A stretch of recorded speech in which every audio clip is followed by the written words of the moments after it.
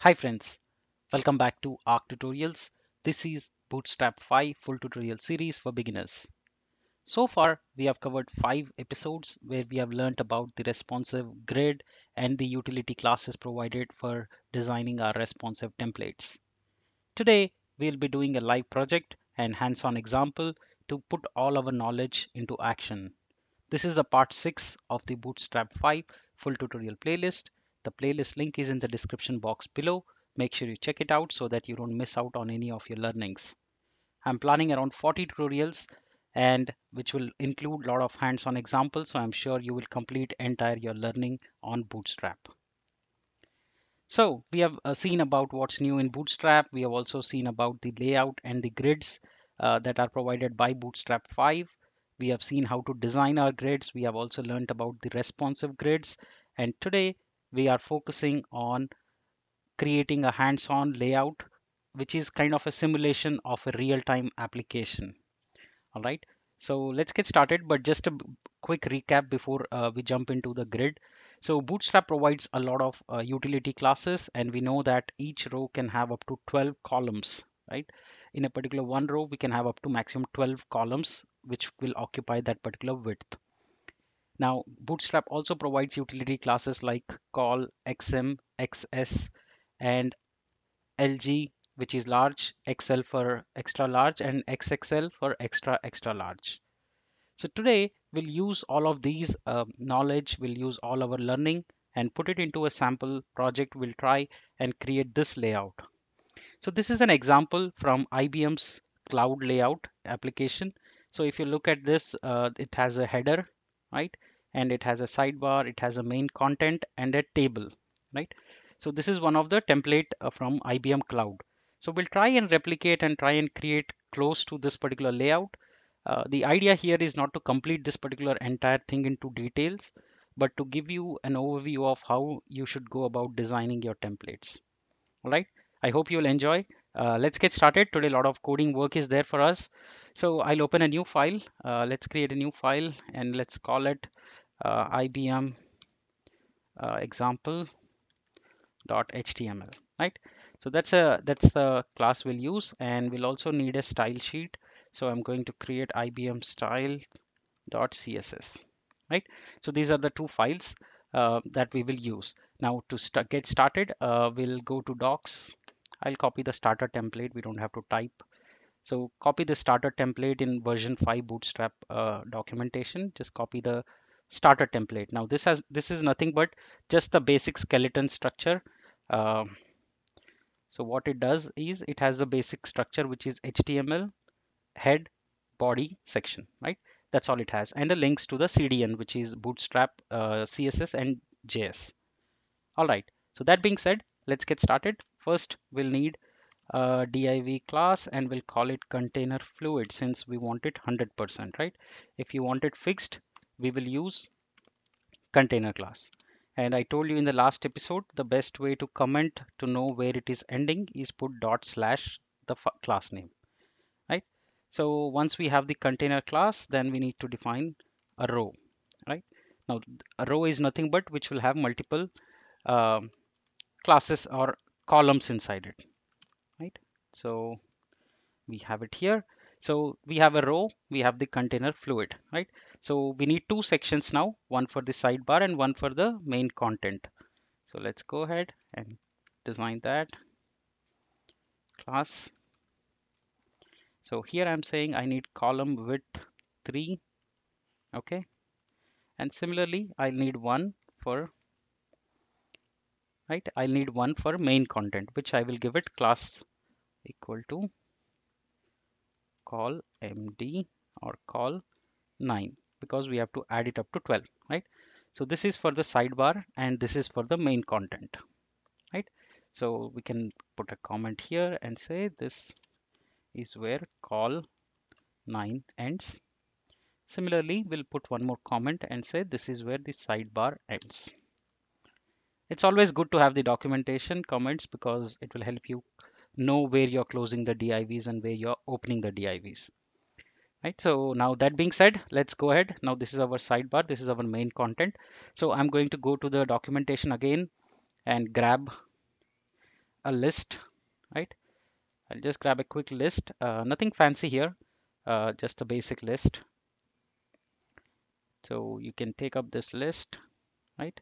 Or and we'll take up let's take the color contextual classes. So I'm going to copy this as it is and go and put it in my sidebar. And instead of this I'm going to call it all uh, dark right? Dark dark theme and we'll make it black color. So just copy this.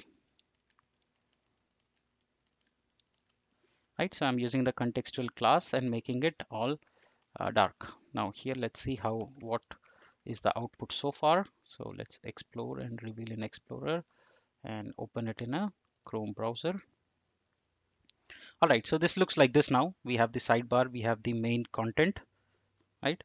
So we are we are now going to put all the main navbar and we'll also cover and make it the styling. So let's go ahead and what I'm going to do here is in the IBM styles here I will give this a class name and here I'm going to call this sidebar and this I'm going to call it main content right?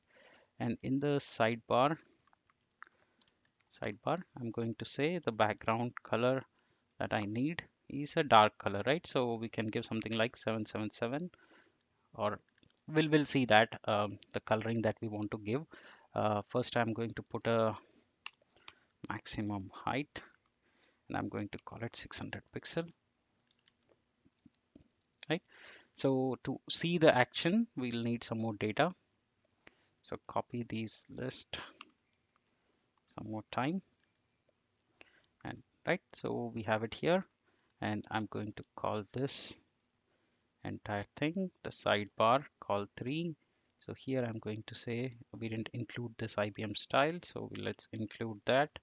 Relevant equal to style sheet and href equal to IBM styles.css okay. So now we will see that a width is applied and we see that there is a scroll that's that's coming up right? Uh, but we don't want the scroll for the entire section. We want only for this right? Sidebar. So we'll fix that. Uh, let's get started. First I'm going to remove uh, the list group so that okay? And I'm going to have it here. And here it's so we have to say overflow y scroll right? So it will have its own independent scroll now. So you see here now this is scrolling on its own right? So what I can do also here is we'll put a list group back. We'll style this and remove that okay? So let's go ahead and our requirement is we need a sidebar which is black color and then we also need a nav bar at the top and then the main content right? So I'm going to put the nav bar now from let's go to documentation grab any navbar. here I will go ahead and grab this navbar here and put it here. In the again I'll create a separate div container class so that it has its own right? And inside this I'm going to put the navbar and instead of background light I'm putting navbar dark bg dark bg navbar dark right? So that's a theme that's provided. So so now we see we have the dark navbar at the top header right? And we have the sidebar. So I'm going to use the same color. So for that we can grab it from here. And so we will right click inspect element and try and get this color. And compute so we need the background color so I'm just going to go here and take this color here right which is 3 4 so you see get the color. So it's easy to get all of that styling. If you're working with a designer probably you will be given all of that in right? So we have the background color applied. Now I don't want this list uh, color to be white. So we can say list background color right? So I'm going to get this class and I'm going to add that here. And we'll remove and say background color transparent. Okay so now it's all black color right? And now we just have to make the color change. So I'm going to make it color white. So now we see white color links right? Now we can add also border bottom one pixel solid gray color right? So you see there is this division if you want like this. Again if you don't want it we can get rid right? So now we have it here. Uh, I think the color is not white. Maybe we'll put it gray right? So you okay so now it looks much better right?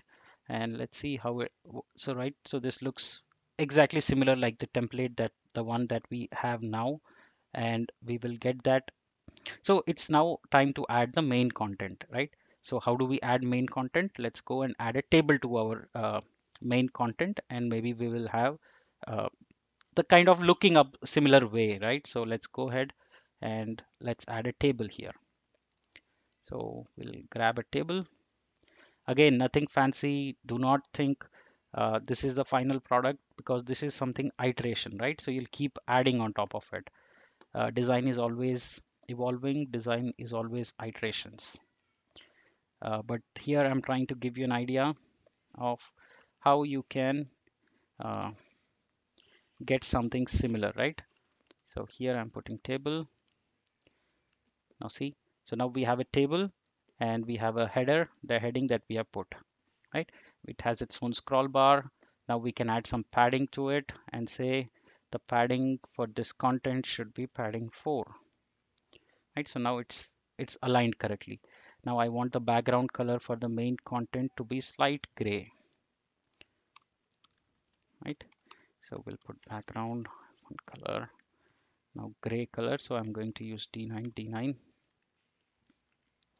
right? So this is the or I can just say uh, the main content can be even more lighter. So I can say E9 E9 right so now it's little much better gray than the one that we have.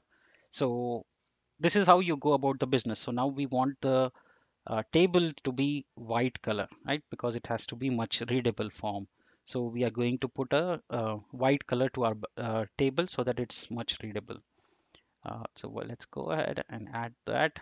So we'll put table right or let's see the design once. And yeah so the table is white color. So here we'll put table. Say background color. Should be white. Right? So there you go. So now we see it's aligned here and we have the the heading. We have this uh, our links. Uh, we have our menu. We have our um, nav bar. We have our sidebar. We have our layout which is grid. Right? So now let's try and so it looks like this. So you can add some more details like these buttons etc you get the idea right? So see now if you look at this layout this has the same kind of template um, and this has the gray color um, background with white color table and sidebar. And this is if you think it's too much then we can reduce the content and make it 10 column. And we can make it two column here and right so the that way we have much better uh, thing. And we can just change these names to something simple text. That way it don't it doesn't occupy uh, the entire thing. So we can call something like home dashboard etc dashboard events. So basically these these are the navigation links that you would have.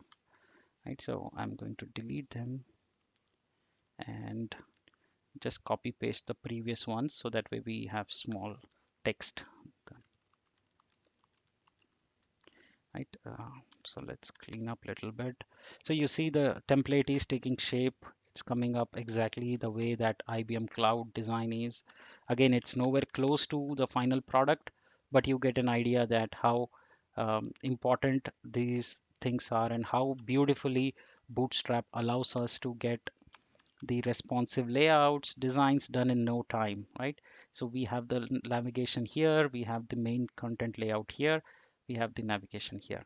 Similarly we can also add footer we can add spacing and all of that. So this becomes your template much similar to the one that we see here on the IBM again the fonts everything that you can customize but the idea you get it that how do you go about designing your layouts all right so this I'll stop here. I will let you take up take over from here, uh, iterate on top of this, keep adding more uh, elements, UI elements like buttons, etc. Make it look posh, make it clean it up much better, add more um, elegancy to it by adding elements, by adding uh, details in terms of pixels, the alignment, and etc.